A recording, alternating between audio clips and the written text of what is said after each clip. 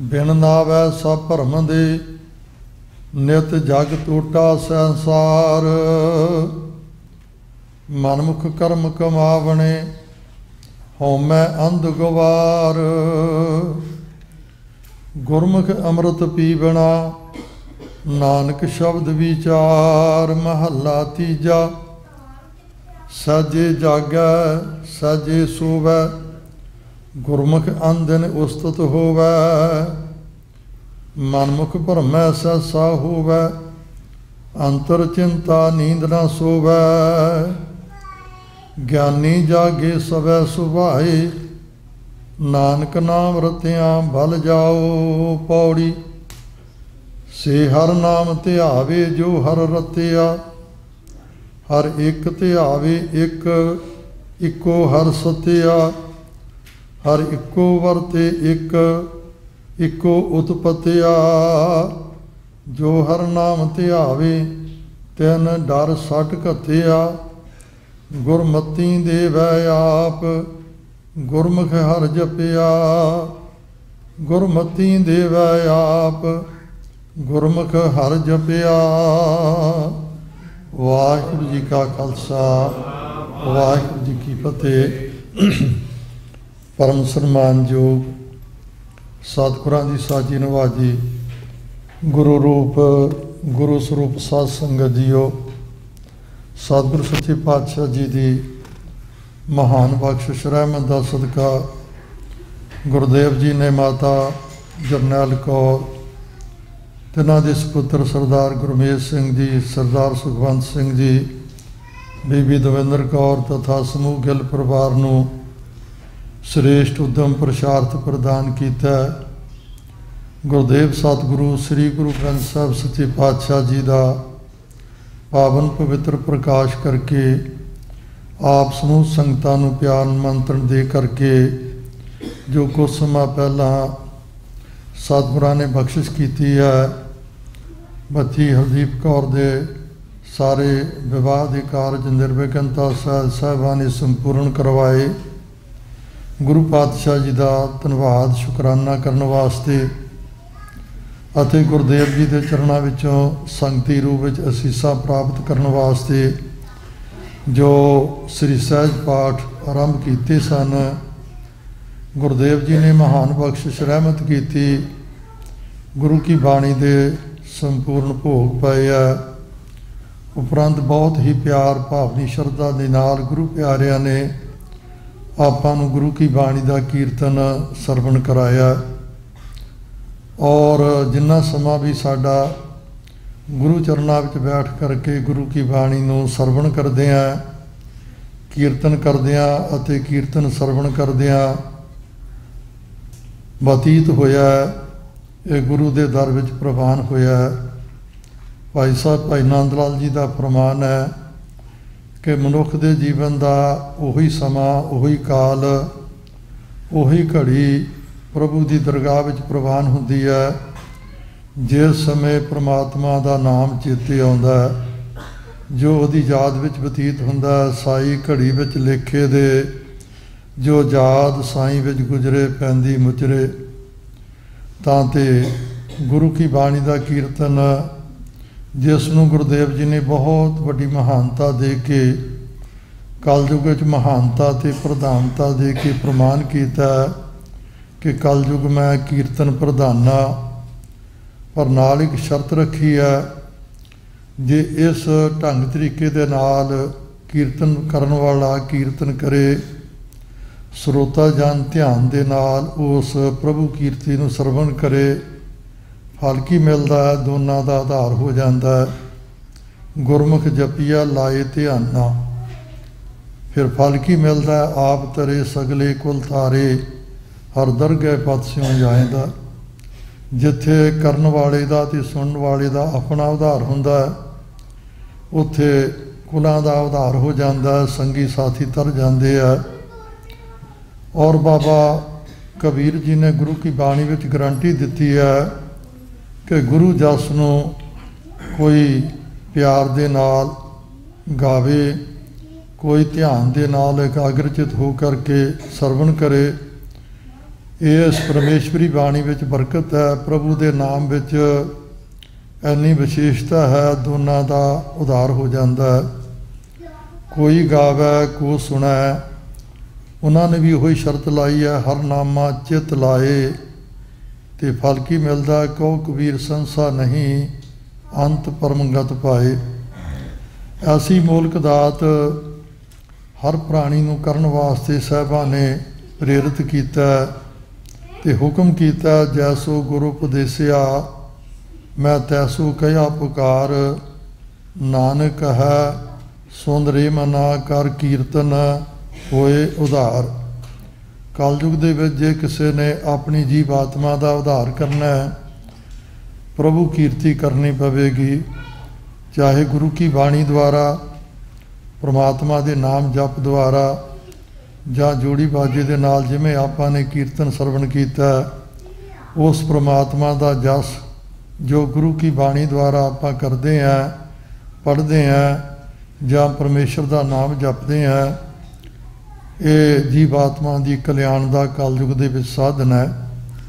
ਔਰ ਚੌਹਾਂ ਯੁਗਾਂ ਦਾ ਧਰਮ ਗੁਰਦੇਵ ਜੀ ਨੇ ਗੁਰਬਾਣੀ ਵਿੱਚ ਲਿਖਿਆ ਤੇ ਕਲਯੁਗ ਵਿੱਚ ਕਿਹਨੂੰ ਮਹਾਨਤਾ, ਪ੍ਰਧਾਨਤਾ ਦਿੱਤੀ ਆ ਪ੍ਰਮਾਤਮਾ ਦੇ ਨਾਮ ਨੂੰ?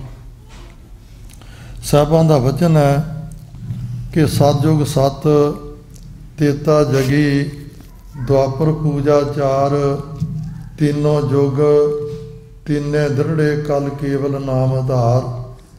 ਕੇਵਲ ਨਾਮ ਜਪੋਰੇ ਪ੍ਰਾਨੀ ਪਰੋ ਏਕ ਕੀ ਸਰਣਾ। ਔਰ ਬੜੀ ਲਵਾ- ਬੁਲੰਦ ਆਵਾਜ਼ ਦੇ ਨਾਲ ਗੁਰਦੇਵ ਜੀ ਨੇ ਪ੍ਰੇਰਿਤ ਕੀਤਾ ਕਿ ਅਬ ਕਲੂ ਆਇਓ ਰੇ, ਇੱਕ ਨਾਮ ਬੋ ਬੋ ਬੋ ਬੋ, ਅਨਰੂਤ ਨਾਹੀ ਨਾਹੀ, ਮਤ ਭਰਮ ਭੂਲੋ ਭੂਲੋ। ਹੁਣ ਕਲਯੁਗ ਦਾ ਸਮਾਂ ਨਾਮ ਜਪਣ ਦੀ ਰੁੱਤ ਹੈ, ਜਿਹੜਾ ਨਾਮ ਜਪੇਗਾ, ਉਸ ਨੂੰ ਪ੍ਰਮਾਤਮਾ ਦੇ ਨਾਲ ਅਭੇਦਤਾ ਮਿਲ ਜਾਵੇਗੀ, ਪਰ ਜਿਹੜਾ ਨਾਮ ਨੂੰ ਛੱਡ ਕਰਕੇ, ਪ੍ਰਭੂ ਕੀਰਤੀ ਦਾ ਤਿਆਗ ਕਰਕੇ ਕੋਈ ਹੋਰ ਜਗ ਕਰੇਗਾ, ਤੀਰਥ ਯਾਤਰਾ ਕਰੇਗਾ, ਵਰਤ ਰੱਖੇਗਾ ਧੁਈਆਂ ਤਾਪੇਗਾ, ਜਲ ਧਾਰਾ ਕਰੇਗਾ, ਉਹਦਾ ਸਮਾਂ ਤਾਂ ਜਾਈ ਜੋ ਆਵੇਗਾ, ਪਰ ਪ੍ਰਮਾਤਮਾ ਦੇ ਨਾਲ ਉਸ ਜੀਵਾਤਮਾ ਦੀ ਰਸਾਈ ਸਮਾਈ ਨਹੀਂ ਹੋਵੇਗੀ। ਸਾਹਿਬਾਂ ਨੇ ਬਾਣੀ ਵਿੱਚ ਫਰਮਾਨ ਕੀਤਾ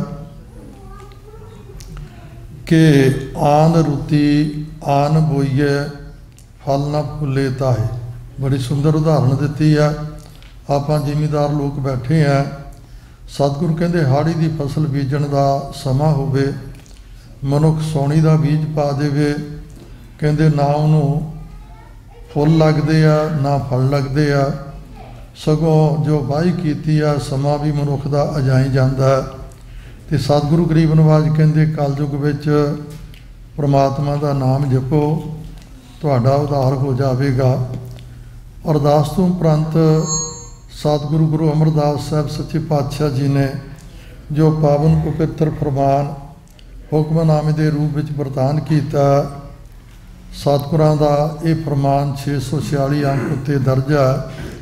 ਜਿਸ ਵਿੱਚ ਸਤਿਗੁਰਾਂ ਨੇ ਦੋ ਸ਼ਲੋਕਾਂ ਦਾ ਉਚਾਰਨ ਕੀਤਾ, ਇੱਕ ਪੌੜੀ ਜਿਹੜੀ ਆ, ਉਹ ਰਚੀ ਹੈ ਔਰ ਦੋਨਾਂ ਸ਼ਲੋਕਾਂ ਵਿੱਚ, ਇੱਕ ਸ਼ਲੋਕ ਦੇ ਵਿੱਚ ਜੋ ਪ੍ਰਮਾਤਮਾ ਦਾ ਨਾਮ ਜਪਦੇ ਆ, ਪਰਮੇਸ਼ਰ ਕਾਲ ਪੁਰਖ ਵਾਹਿਗੁਰੂ ਦੇ ਨਾਲ ਜੁੜਦੇ ਆ, ਉਹਨਾਂ ਨੂੰ ਜੋ ਲਾਭ ਮਿਲਦਾ, ਜੋ ਬਖਸ਼ਾਂ ਪ੍ਰਭੂ ਦਰ ਵਿੱਚੋਂ ਪ੍ਰਾਪਤ ਹੁੰਦੀਆਂ, ਉਹਨਾਂ ਦਾ ਜ਼ਿਕਰ ਕੀਤਾ, ਪਰ ਜੋ ਮਨ ਦੇ ਪਿੱਛੇ ਲੱਗ ਕਰਕੇ ਚੱਲਦੇ ਆ, ਮਨ ਦੀ ਮਨ ਮਰਜ਼ੀ ਕਰਦੀ ਆ, ਉਹਨਾਂ ਦਾ ਜੋ ਨੁਕਸਾਨ ਹੁੰਦਾ, ਜੋ ਉਹਨਾਂ ਨੂੰ ਘਾਟਾ ਪੈਂਦਾ, ਸਤਿਗੁਰਾਂ ਨੇ ਟੋਟਾ ਸ਼ਬਦ ਵਰਤਣਾ ਕੀਤਾ ਹੈ। ਟੋਟੇ ਦਾ ਭਾਵ ਨੁਕਸਾਨ, ਘਾਟਾ, ਉਹਦਾ ਜ਼ਿਕਰ ਕੀਤਾ ਜਿਹੜੇ ਨਾਮ ਨੂੰ ਛੱਡ ਕੇ ਹੋਰ ਹੋਰ ਕਰਮਾਂ ਵਿੱਚ ਪੈ ਕੇ ਆਪਣਾ ਸਮਾਂ ਬਤੀਤ ਕਰਦੇ ਆ, ਸਤਿਗੁਰ ਕਹਿੰਦੇ, ਉਹਨਾਂ ਦਾ ਆਵਾਗਾਉਣ ਦਾ ਚੱਕਰ ਕਦੀ ਵੀ ਖਤਮ ਨਹੀਂ ਹੋ ਸਕਦਾ। ਆਰੰਭ ਦਾ ਸ਼ਲੋਕ ਹੈ, ਬਿਨ ਨਾਵੈ ਸਭ ਭਰਮ ਦੇ, ਨਿਤ ਜਗ ਟੋਟਾ ਸੰਸਾਰ। ਇੱਕ ਹੈ ਲਾਹਾ, ਇੱਕ ਹੈ ਟੋਟਾ ਲਾਹਾ ਕੀ ਹੈ? ਹਰ ਰਾਮ ਨਾਮ ਜਪ ਲਾਹਾ। ਭਜੋ ਗੋਬਿੰਦ, ਭੂਲ ਮਤ ਜਾਹੋ, ਮਾਨਸ ਜਨਮ ਦਾ ਇਹੀ ਲਾਹੋ। ਜਿਹੜਾ ਇਸ ਸੰਸਾਰ ਦੇ ਵਿੱਚ ਪ੍ਰਮਾਤਮਾ ਦਾ ਨਾਮ ਜਪਦਾ ਉਹ ਤਾਂ ਗੁਰਮੁਖ ਲਾਹਾ ਲੈ ਗਏ, ਮਨਮੁਖ ਚੱਲੇ ਮੂਲ ਗਵਾਏ ਜਿਓ।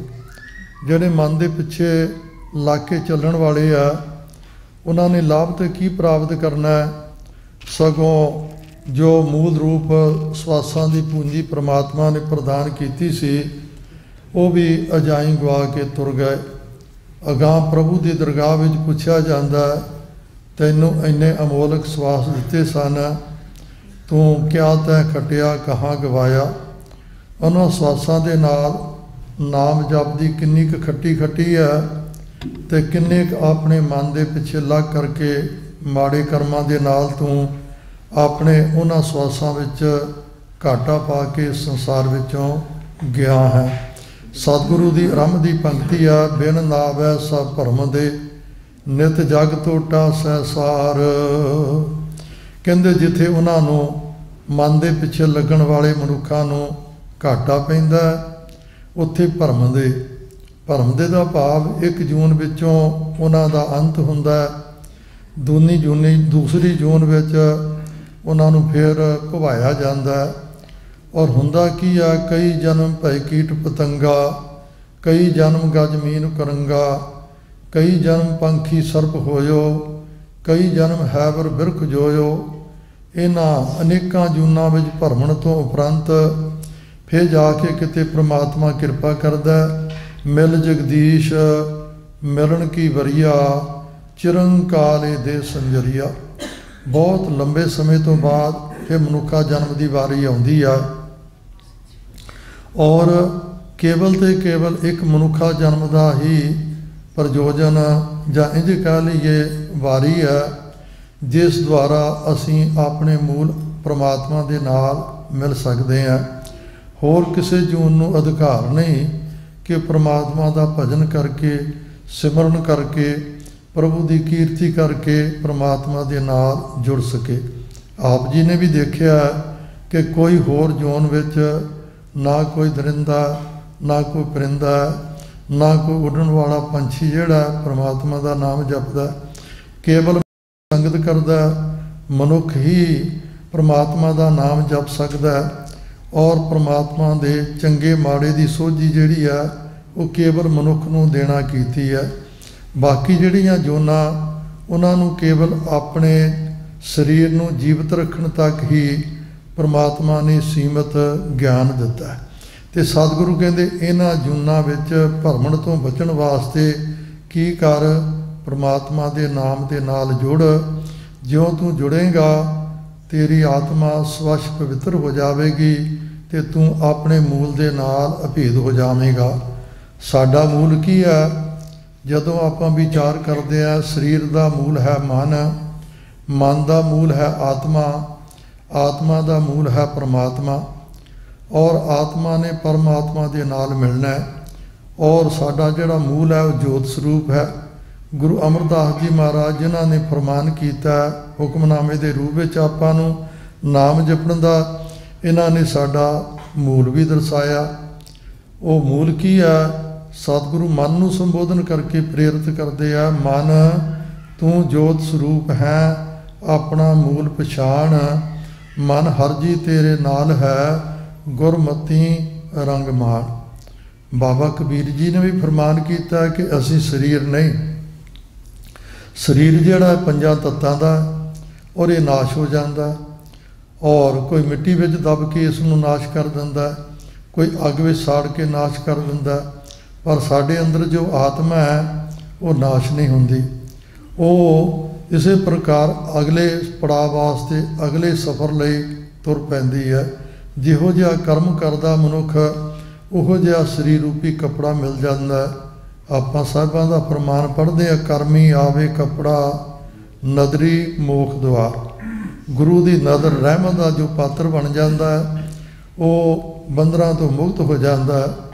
ਪਰ ਜੇ ਮਾੜੇ ਕਰਮ ਕਰਦਾ ਹੈ, ਤੇ ਉਸ ਨੂੰ ਮਾੜਾ ਸਰੀਰ ਮਿਲ ਜਾਂਦਾ ਚੰਗੇ ਕਰਮ ਕੀਤੇ ਆ ਚੰਗਾ ਸਰੀਰ ਮਿਲ ਜਾਂਦਾ ਹੁਣ ਵੀ ਆਪਾਂ ਦੇਖਦੇ ਹਾਂ 84 ਲੱਖ ਜੋਨ ਦੇ ਵਿੱਚੋਂ ਮਨੁੱਖਾ ਜਨਮ ਸਭ ਤੋਂ ਸਰਮੌਰ ਹੈ। ਪਰ ਇਕਨਾਂ ਨੂੰ ਪ੍ਰਮਾਤਮਾ ਨੇ ਸੋਹਣਾ ਸਰੀਰ ਦਿੱਤਾ, ਪਰ ਇਕਨਾਂ ਨੂੰ ਕੋਈ ਅੰਗਹੀਣਤਾ ਦਿੱਤੀ ਹੈ ਕਿਸੇ ਦੀ ਲੱਤ ਨਹੀਂ ਚੱਲਦੀ, ਕਿਸੇ ਨੂੰ ਪੋਲੀਓ ਹੋ ਗਿਆ ਜਾਂ ਕੋਈ ਹੈਂਡੀਕੈਪ ਹੋ ਜਾਂਦਾ। ਮਨੁੱਖਾ ਜਨਮ ਤੇ ਉਹਨਾਂ ਨੂੰ ਵੀ ਮਿਲਿਆ ਸਰੀਰ ਰੂਪੀ ਕੱਪੜਾ, ਪਰ ਕਰਮ ਉਹਨਾਂ ਦੇ ਕੁਛ ਐਸੇ ਸਨ ਜਿਨ੍ਹਾਂ ਕਰਕੇ ਮਾੜਾ ਕੱਪੜਾ ਮਿਲਿਆ। ਤਾਂ ਦੇ ਇਸੇ ਪ੍ਰਕਾਰ ਕਿਸੇ ਨੂੰ ਗਰੀਬ ਘਰ ਦੇ ਵਿੱਚ ਜਨਮ ਦਿੱਤਾ, ਕਿਸੇ ਨੂੰ ਅਮੀਰ ਦੇ ਘਰ ਵਿੱਚ ਜਨਮ ਦਿੱਤਾ ਕਿਸੇ ਨੂੰ ਜਨਮ ਤੋਂ ਸੰਸਕਾਰ ਗੁਰਮਤ ਦੇ ਮਿਲਦੇ ਆ, ਕਿਸੇ ਨੂੰ ਨਾਸਕਤਾ ਦੇ ਸੰਸਕਾਰ ਮਿਲਦੇ ਆ। ਇਹ ਪਿਛਲੇ ਕਰਮਾਂ ਅਨੁਸਾਰ ਮਨੁੱਖ ਜਿਹੜਾ ਹੈ, ਇਸ ਸੰਸਾਰ ਵਿੱਚ ਉਹਦੇ ਸੰਸਕਾਰ ਬਣਦੇ ਆ। ਸਤਿਗੁਰਾਂ ਨੇ ਪ੍ਰੋੜਤਾ ਕੀਤੀ ਹੈ ਮਨੁੱਖ ਇਸ ਸੰਸਾਰ ਵਿੱਚੋਂ ਨਾ ਧਨ ਖੜਦਾ ਨਾ ਜ਼ਮੀਨ ਜਾਇਦਾਦ ਖੜਦਾ ਨਾ ਉੱਚਾ ਮਰਾਤਬਾ ਉਹਦੇ ਨਾਲ ਜਾਂਦਾ। ਕੀ ਜਾਂਦਾ? ਜੋ ਮਨੁੱਖ ਚੰਗੇ ਜਾਂ ਮਾੜੇ ਕਰਮ ਕਰਦਾ ਉਹਨਾਂ ਦੇ ਸੰਸਕਾਰ ਜੀਵ ਆਤਮਾ ਦੇ ਨਾਲ ਚਲੇ ਜਾਂਦੇ ਆ।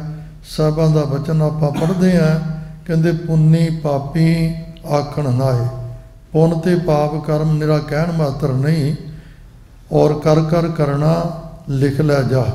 ਜਿਹੋ ਜੇ ਮਨੁੱਖ ਕਰਮ ਕਰਦਾ ਉਹਨਾਂ ਦਾ ਦਸਤਾਵੇਜ਼ ਜੀਵ ਆਤਮਾ ਦੇ ਨਾਲ ਚਲਾ ਜਾਂਦਾ ਉਸੇ ਅਨਸਾਰ ਕਦੀ ਦੁੱਖ ਆਉਂਦਾ ਕਦੀ ਸੁੱਖ ਆਉਂਦਾ, ਦੁੱਖ ਸੁੱਖ ਦੋਏ ਦਰ ਕੱਪੜੇ ਪਹਿਰੇ ਜਾਏ ਮਨੁੱਖ, ਔਰ ਦੁੱਖ ਆਉਂਦਾ ਚੰਗੇ ਕਰਮਾਂ ਮਾੜੇ ਕਰਮਾਂ ਦਾ ਫਲ ਭੁਗਤ ਦਾ ਮੁਖ, ਚੰਗੇ ਕਰਮਾਂ ਦਾ ਫਲ ਸੁਖ ਮਿਲਦਾ।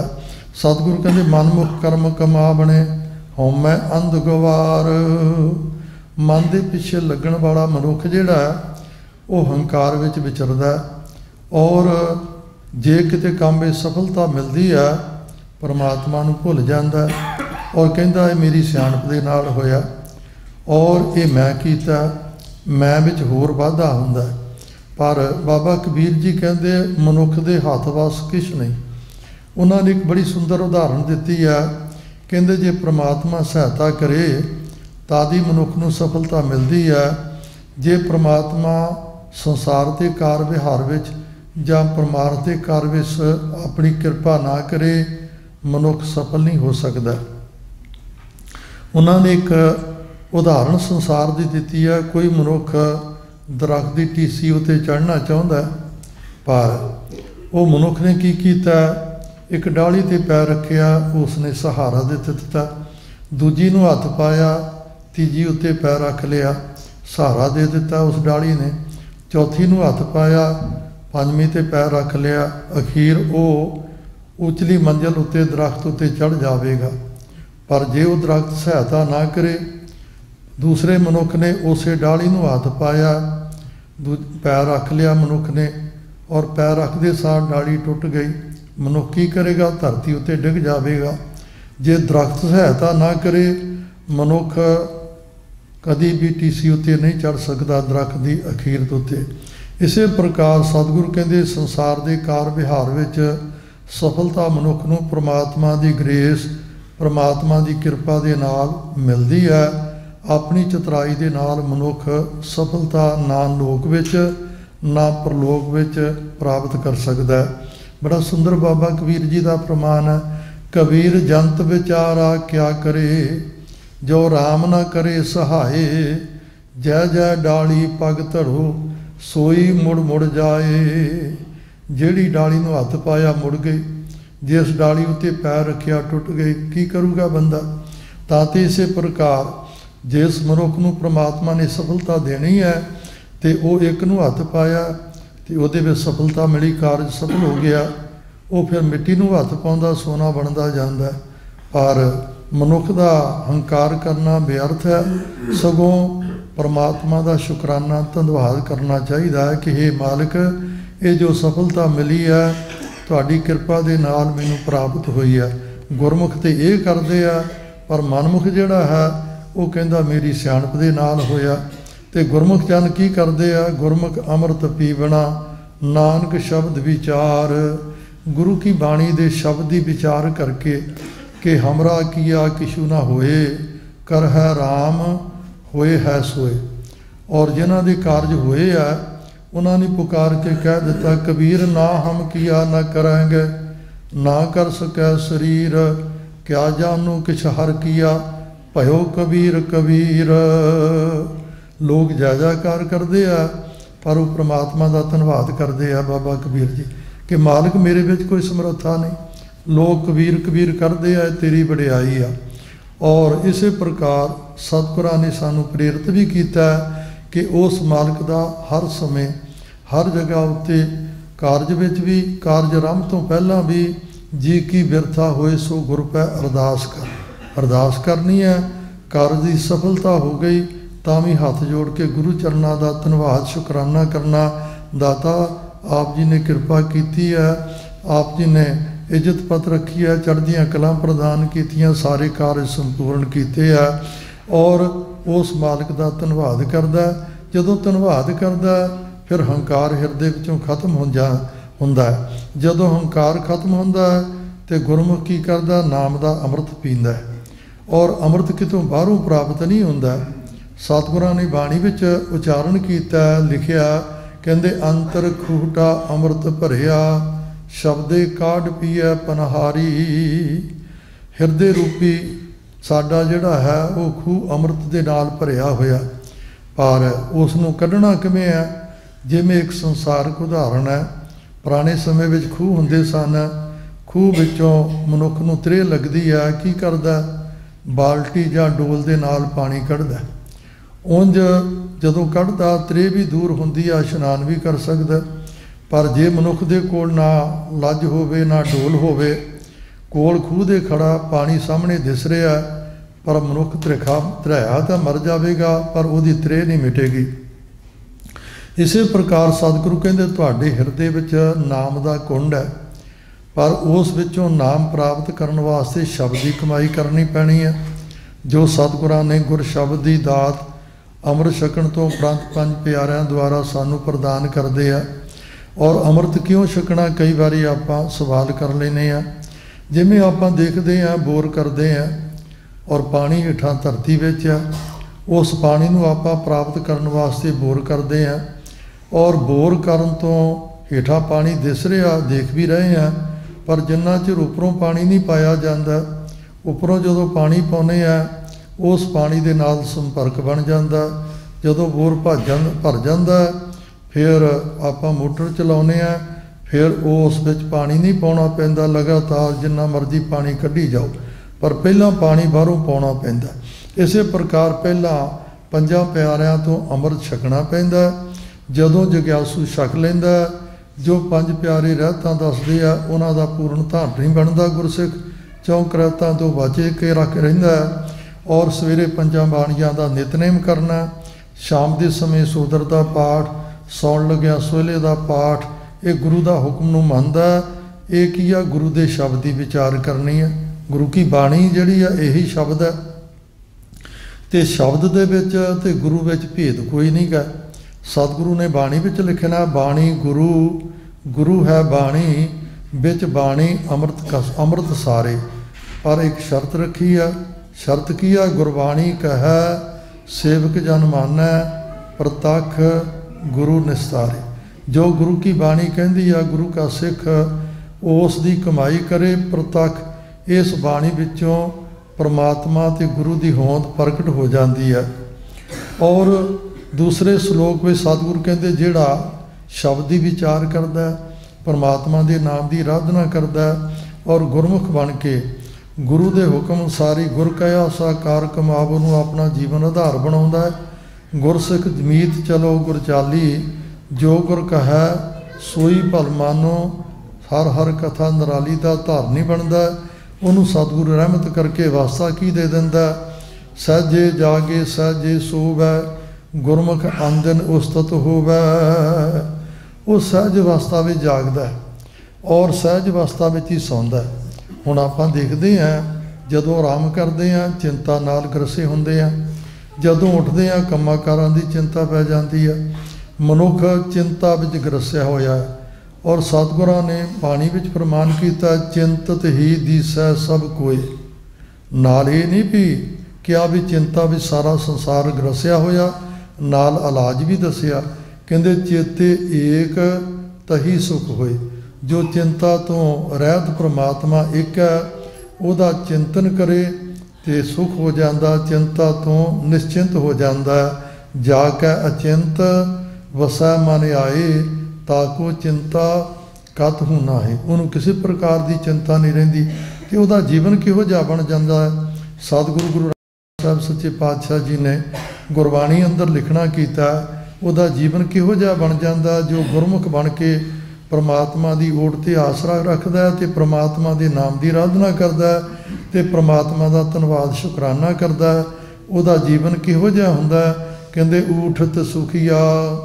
ਬੈਠਤ ਸੁਖੀਆ, ਭਉ ਨਹੀਂ ਲਾਗੇ ਜਾਂ ਐਸੇ 부ਝਿਆ ਉਹਨੂੰ ਸੋਝੀ ਕੀ ਆ ਜਾਂਦੀ ਹੈ ਕਿ ਰਾਖਾ ਏਕ ਹਮਾਰਾ ਸੁਆਮੀ, ਸਗਲ ਘਟਾ ਕਾ ਅੰਤਰ ਜਾਮੀ।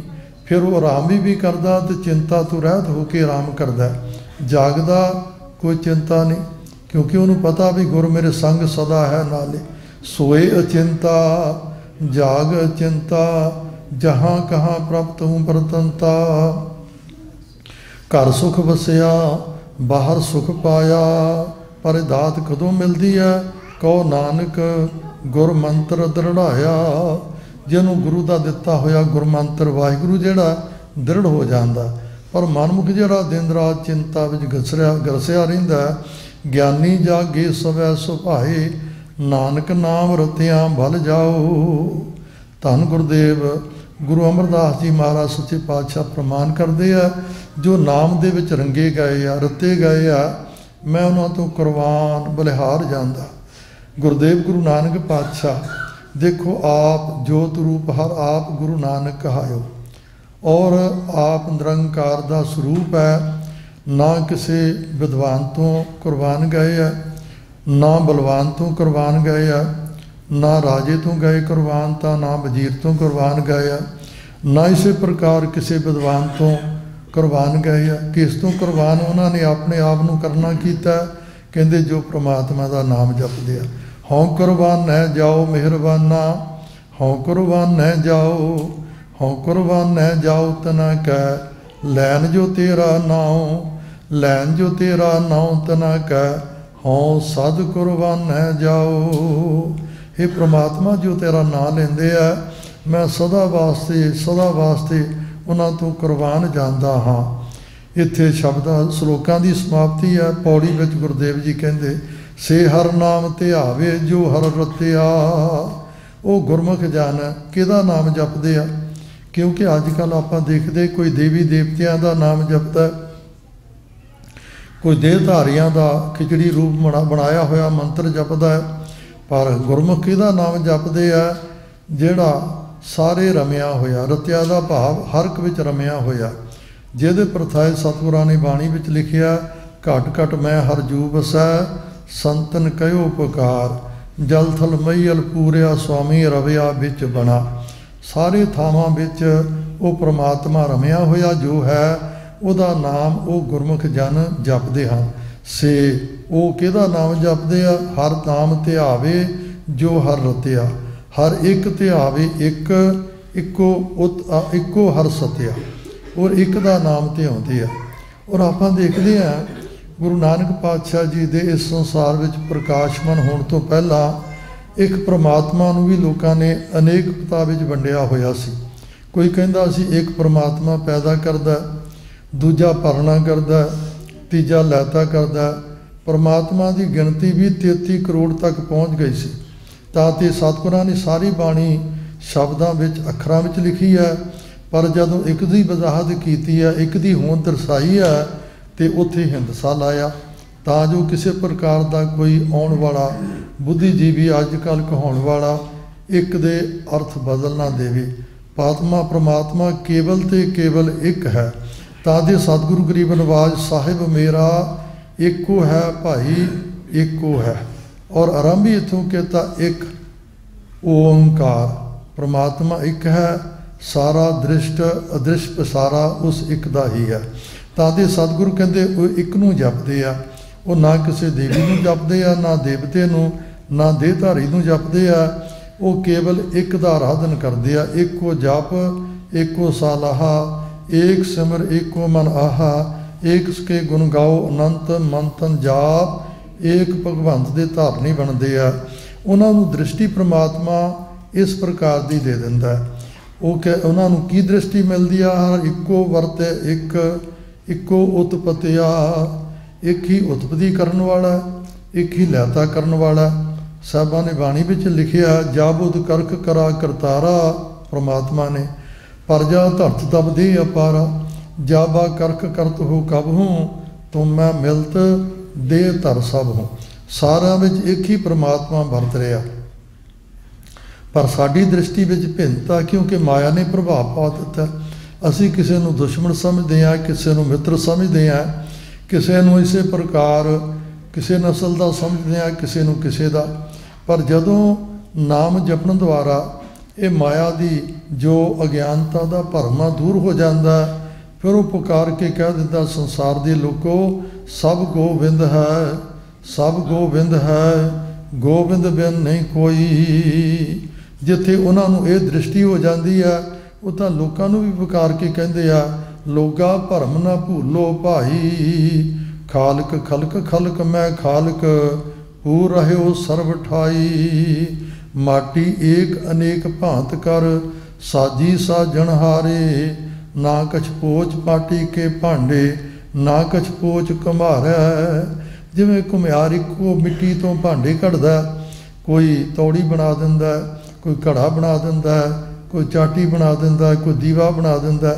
ਮਨੁੱਖ ਨੂੰ ਦੇਖ ਕੇ ਭਿੰਨਤਾ ਦਾ ਭਰਮ ਪੈ ਜਾਂਦਾ। ਪਰ ਇੱਕੋ ਮਿੱਟੀ ਤੋਂ ਸਾਰਾ ਇਹ ਘੁਮਿਆਰ ਜਿਹੜਾ ਜਿਵੇਂ ਭਾਂਡੇ ਬਣਾਉਂਦਾ ਤੇ ਮੈਂ ਪ੍ਰਮਾਤਮਾ ਦੇ ਪੰਜਾਂ ਤੱਤਾਂ ਦੀ ਮਿੱਟੀ ਤੋਂ ਸਾਰੇ ਸੰਸਾਰ ਨੂੰ ਬਣਾਉਣਾ ਕੀਤਾ। ਕਿਸੇ ਨਾਲ ਕੋਈ ਵਿਤਕਰਾ ਨਹੀਂ ਕਰਨਾ ਕੀਤਾ। ਇੱਕੋ ਜਿਹੇ ਅੰਗ, ਇੱਕੋ ਜਿਹੇ ਹੱਥ ਪੈਰ ਦਿੱਤੇ ਆ। ਸਤਿਗੁਰੂ ਗਰੀਬ ਨਵਾਜ ਕਹਿੰਦੇ, ਬਸ ਉਹਨਾਂ ਨੂੰ ਇਹ ਪਤਾ ਚੱਲ ਜਾਂਦਾ ਹੈ ਕਿ ਪ੍ਰਮਾਤਮਾ ਸੰਸਾਰ ਵਿੱਚ ਵਸਦਾ ਹੈ, ਸੰਸਾਰ ਪ੍ਰਮਾਤਮਾ ਵਿੱਚ ਵਸਦਾ ਫਰੀਦਾ ਖਾਲਕ ਖਲਕ ਮੈਂ, ਖਲਕ ਵਸੇ ਰੱਬ ਮਾਹੇ। ਇਸ ਲਈ ਮੰਦਾ ਕਿਸਨੋ ਆਖੀਏ? ਜਾਂ ਤਿਸ ਬਿੰਦੂ ਸਰਨਾਹੇ ਆਖਰ ਵਿੱਚ ਸਤਿਗੁਰੂ ਕਹਿੰਦੇ, ਜੋ ਹਰ ਨਾਮ ਤੇ ਆਵੇ, ਤਿੰਨ ਡਰ ਸੱਟ ਕੱਤਿਆ। ਹਰ ਮਨੁੱਖ, ਅਸੀਂ ਵੀ ਉਹਨਾਂ ਵਿੱਚ ਆ ਜਾਂਦੇ ਹਾਂ, ਹਰ ਮਨੁੱਖ ਡਰ ਵਿੱਚ ਹੈ। ਔਰ ਗੁਰਦੇਵ ਜੀ ਨੇ ਜਿੱਥੇ ਸਭ ਸ਼ਬਦ ਵਰਤਣਾ ਕੀਤਾ, ਉੱਥੇ ਨਾਨਕ ਦੁਖੀਆ ਸਭ ਸੰਸਾਰ। ਚਿੰਤਾ ਦੀ ਗੱਲ ਕੀਤੀ ਹੈ, ਚਿੰਤਤ ਹੀ ਦਿਸੈ ਸਭ ਕੋਏ। ਤੇ ਜਿੱਥੇ ਡਰ ਦੀ ਗੱਲ ਕੀਤੀ ਹੈ ਉੱਥੇ ਵੀ ਸਭ ਲਿਖਣਾ ਕੀਤਾ ਸਗਰ ਸਮਗਰੀ। ਸਗਲ ਸਮਗਰੀ ਡਰੈ ਵਿਆਪੀ ਬਿਨ ਡਰ ਕਰਨਾ ਹਾਰਾ। ਭੈ ਵਿੱਚ ਸਭ ਆਕਾਰ ਹੈ ਸਭ ਲਿ ਸ਼ਬਦਨਾ ਸ਼ਬਦ ਵਰਤਣਾ ਕੀਤਾ ਚਾਹੇ ਕੋਈ ਵੱਡੇ ਤੋਂ ਵੱਡਾ ਕਹਾਉਂਦਾ ਹੈ, ਕਿਸੇ ਨਾ ਕਿਸੇ ਦਾ ਡਰ ਡਰ ਚਮਰਿਆ ਹੋਇਆ। ਹਰ ਇੱਕ ਨੂੰ ਡਰ ਦੇ ਅਧੀਨ ਹੈ ਹਰ ਡਰ ਵਿੱਚ ਗਰਸਿਆ ਹੋਇਆ। ਸਗਲ ਸਮਗਰੀ ਡਰੈ ਵਿਆਪੀ ਬਿਨ ਡਰ ਕਰਨਾ ਹਾਰਾ। ਭੈ ਵਿੱਚ ਸਭ ਆਕਾਰ ਹੈ ਨਿਰਭਉ ਹਰ ਜੀਉ ਸੋਏ ਸੋਏ, ਜਿਹੜਾ ਨਿਰਭਉ ਦਾ ਜਾਪ ਕਰਦਾ ਸਤਿਗੁਰੂ ਕਹਿੰਦੇ ਉਹਦੇ ਸਾਰੇ ਡਰ ਦੂਰ ਹੋ ਜਾਂਦੇ ਆ। ਨਿਰਭਉ ਜਪੈ, ਸਗਲ ਭਉ ਮਿਟੈ। ਸਾਰੇ ਡਰ ਉਹਦੇ ਦੂਰ ਹੋ ਜਾਂਦੇ ਆ।